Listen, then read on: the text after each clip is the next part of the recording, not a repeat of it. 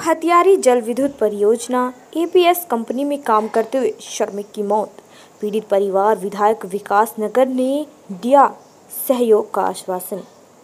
बता दें कि यमुना नदी पर बन रही 120 मेगावाट क्षमता की व्यासी हथियारी जल विद्युत परियोजना का काम इन दिनों अंतिम चरण में है। व्यापारी जल विद्युत परियोजना एपीएस कंपनी हथियारी में तीसरी मंजिल में काम करते हुए कटा पत्थर निवासी श्रमिक की मौत हो गई थी। जिसको लेकर गाँव वालों में जल विद्युत परियोजना के प्रति काफ़ी आक्रोश था। गाँव वालों का आरोप था कि कंपनी के द्वारा श्रमिक को सुरक्षा सेफ्टी के नाम पर कोई सामान नहीं दिया जाता है, जिससे श्रमिक को काम करते हुए किसी भी दुर्घटना का सामना करना पड़ता है। आज इसी तरह एक श्रमिक ने जल विद्युत परियोजना पर कार्य करते हुए अपनी जान गंवा दी। दुर्घटना में मृत्यु हुई है, बहुत दुखद है और बहुत कच्चा परिवार है उसका। बेटा बहुत छोटा है और तीन बेटी है।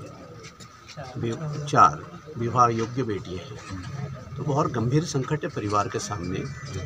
इसलिए जितने भी लेबर बेनिफिट किसी भी स्रोत से हो सकते हैं, मैं रिपीट कर रहा हूँ, जो भी लेबर बेनिफिट किसी भी स्रोत से हो सकते हैं, सुई के नौकर वो सारे के सारे लेबर बेनिफिट पीड़ित परिवार को दिए जाएँगे, दिलाए जाएँगे।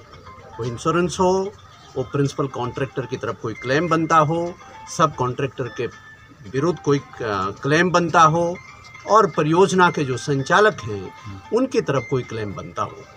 इस परिवार को इस असीम कष्ट की घड़ी में जो भी संभव होगा वो हर संभव मदद उनको पहुंचाई जाएगी।